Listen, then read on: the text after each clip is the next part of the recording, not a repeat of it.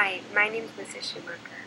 My hope and dream for the school year is to integrate our social and academic curriculums to create meaningful learning experiences for all of my students. Keep learning and have a great year.